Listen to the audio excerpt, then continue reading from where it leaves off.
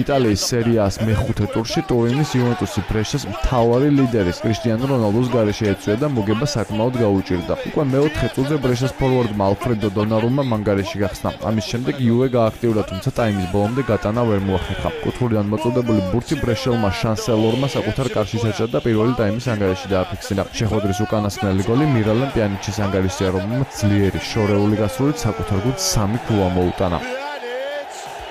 يسجل الهدف الثاني